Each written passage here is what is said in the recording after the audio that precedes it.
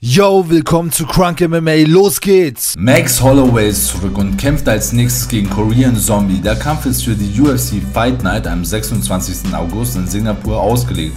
Stattfinden wird es baut im Indoor Stadium. Der Blast Holloway verlor zuletzt gegen Alexander Volkanovski via Unanimous Decision bei der UFC 276 am 2. Juli 2022. Auf der anderen Seite verbucht auch Korean Zombie eine Niederlage gegen Alexander Volkanovski, allerdings via TKO Punches in Runde 4 bei UFC 273. Zombie ist seit dem 9. April 2022 inaktiv, wird also rein theoretisch eher dazu tendieren, Ringrust zu erleben. Zudem hat Zombie 20, 21 und 22 insgesamt drei Kämpfe bestritten, viel zu wenig meiner Meinung nach. Max Holloway sehe ich auf jeden Fall jetzt schon als Wettfavoriten in Singapur. Blast wird ausdauertechnisch enorme Vorteile genießen. Wenn Holloway etwas nicht ausgeht, dann ist es sein Gas-Tank, der locker auf 5 Runden gleichbleibend äh, gestreckt werden kann. Holloways Boxen ist der absolute Kern seiner Skills. Darauf wird Zombie jede Menge machen müssen, um klarzukommen. Fakt ist Zombies Explosivität und wie er im Vorwärtsgang gerne rusht, schleudert. Gegen jemanden wie Max Holloway, der perfekt kalkuliert agiert, wird es vermutlich nicht die richtige Methode zum Erfolg sein. Weiterhin wirft Holloway gelegentlich Spinning Kicks, Flying Knees ein. Seine 1 zu 2 Kombination ist Meisterklasse.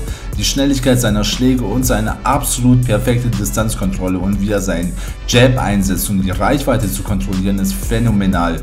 Gegen kleinere Gegner wie gegen Zombie, der versuchen wird, die Distanz zu schließen, müsste Holloways geniale Beinarbeit und Jab eigentlich ausreichen, um die Distanz zu halten. Auf zahlreiche Lebertreffer darf sich Zombie aufreuen.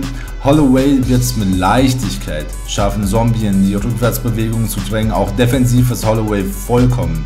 Vorteil für Zombie kann seine Aggressivität sein, seine scharfe Rechte und sein Timing. Pure Aggressivität gegenüber Holloway nicht unbedingt ratsam. Vergleich. Max Holloway steigt als der größere Kämpfer ins Octagon mit 1,80 Meter, 5 cm größer als Korean Zombie. In der Reichweite unterscheiden sich beide deutlich. Holloway 175 cm, Zombie 183 cm. Beim Punkt Alter geht der Vorteil ins Holloway-Lager, auch erfahrungstechnisch Holloway.